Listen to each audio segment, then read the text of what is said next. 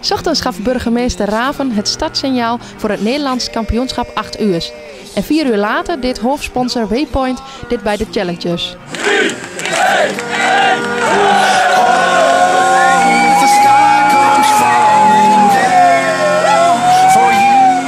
De 4 en 8 uur survival race is een mix van adventure race en survival.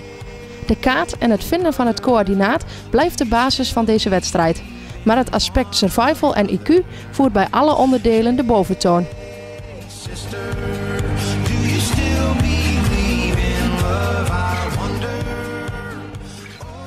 Naast de fysieke uitdaging van onder andere mountainbike, touwbanen, hardlopen, kanovaren, ballastloop en dergelijke zaten dus ook veel intelligentieopdrachten bij.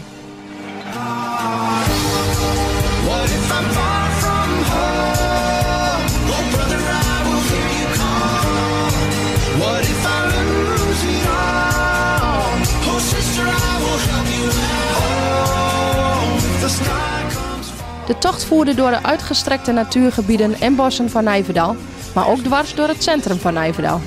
En een van de hindernissen was te vinden in een leegstaand pand van de Henri Dunant flat. Grote winnaars van de 8 uur race werden Ruud Blikman en Matthijs Imhoff, die na vier keer zilver en één keer brons eindelijk de eerste plaats wisten te bemachtigen.